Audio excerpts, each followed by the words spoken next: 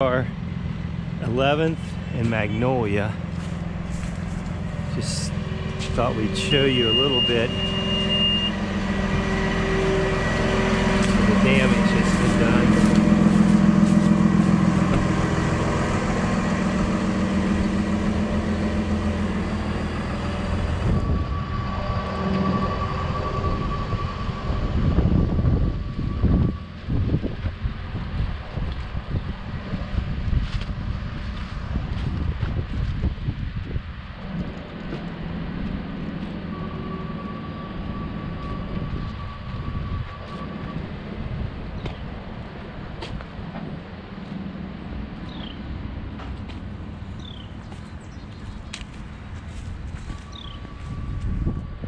It's pretty bad.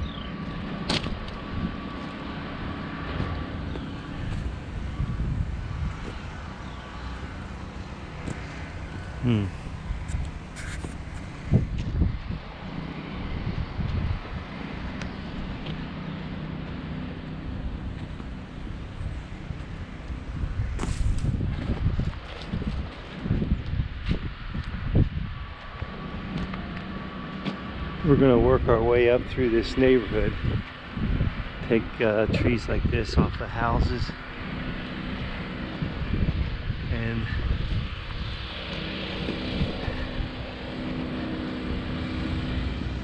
this lady here has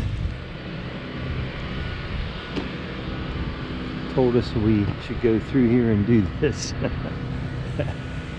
so That's kind of bad right there. Wouldn't want to have been in that house. So, and it just keeps going and going and going. So,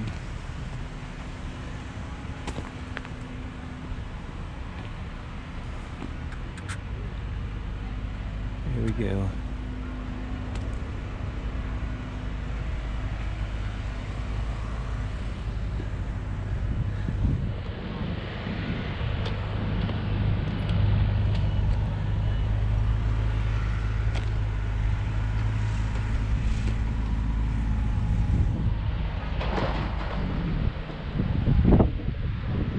Pretty hazardous.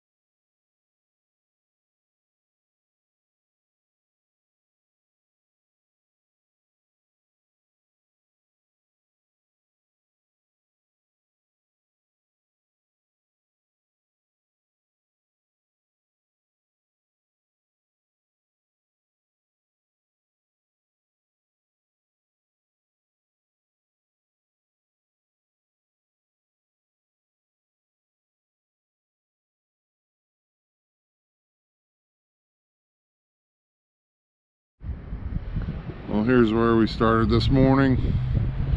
Alley looks far different than it did when we got going. Uh, I think we started around uh, 8.30 Central Time, 9.30 Eastern.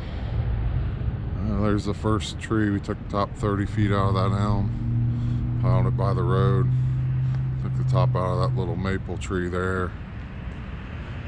And we have one limb, one little limb up in the uh, mulberry. Took that down, piled everything by the road. Know, we just started moving down this alley. Uh, you can see the maple ahead on the left. Um, took the broken limbs and stubs that were up over the road. Took the top out of it, make it a little bit safer. We got a couple maple stumps over there. Took 20, 30 feet out of those as well. And this little maple there, took the broken top out of it. Make it a little bit easier for them to drop. This garage here had all of this brush piled on top of the roof there. Uh, just grabbed a hold of everything and drug it down, piled it up here in the yard. But yeah, it was just all all laying on that roof there. This big oak stump that you see over there. Uh, we took the top 30 feet out of it so we can make it a little bit easier uh, for the tree company that was working. They were able to come in and drop it. Um, otherwise, if we would left that in, it would have hit the house there. So got that out. And we just continued on down the alley.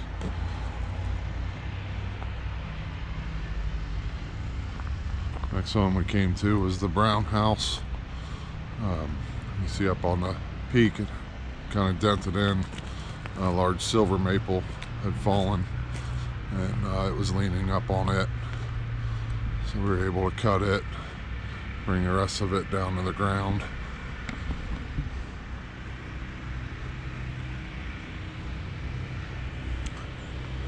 And the hackberry on the right. Quick cut off the top, you know, get the broken broken top out of it, make it a little bit safer.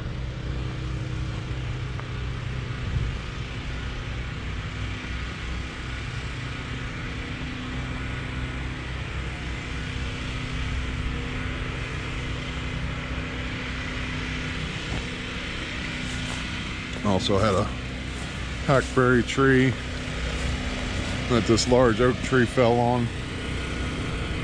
And it had uh, bent over and cracked the hackberry. It was sitting right there in the corner.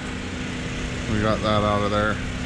We did not crack the windshield of the sweet Mustang though. Uh, lifted it up, set it over in the rest of the brush pile.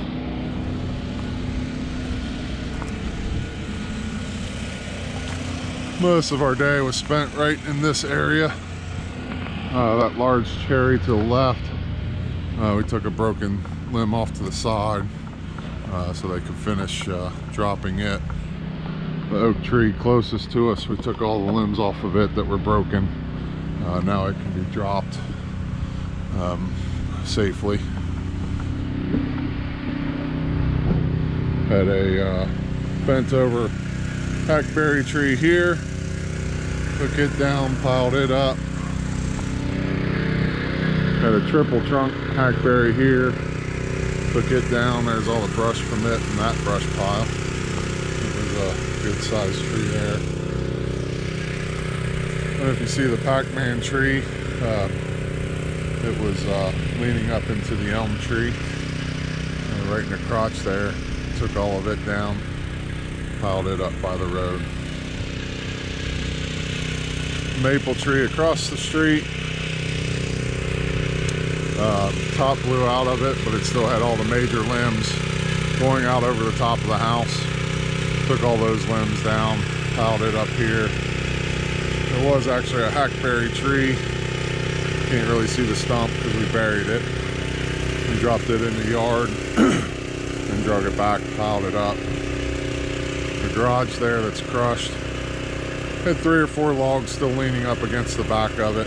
Just pulled those off of there. Make it a little bit safer for uh, whoever's got to get in there next. Then we didn't film this alley over here this morning, uh, but we're down there by that big nasty elm tree that's all split apart and laying. But on the way down, uh, we took down the top of that maple tree there. Uh, that way they could get a tarp on the, the roof easier and not have to worry about new stuff falling.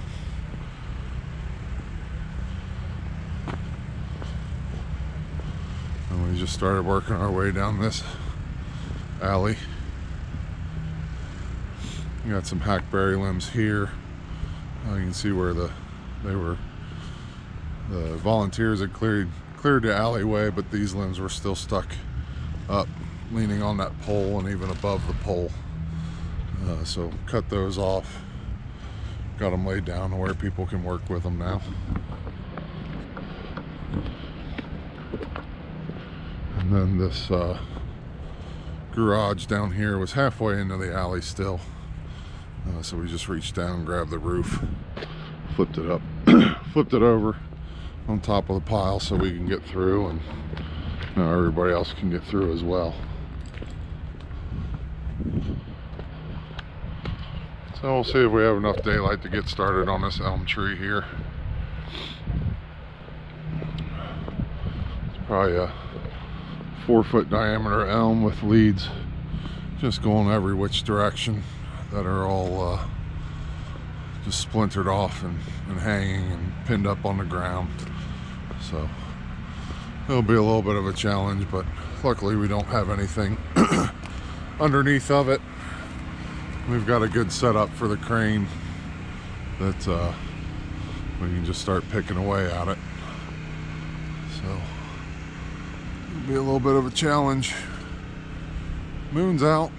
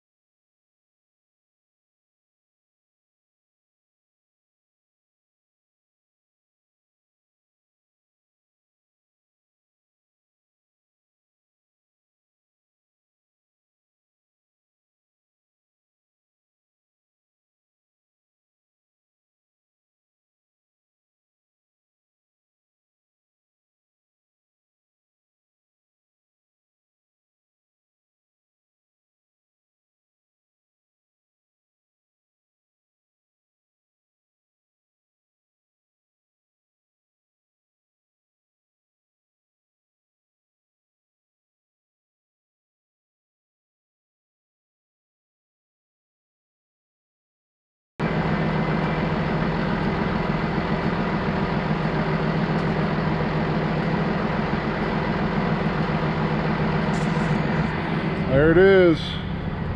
By the light of the moon. Time to call it a night. Get going again in the morning.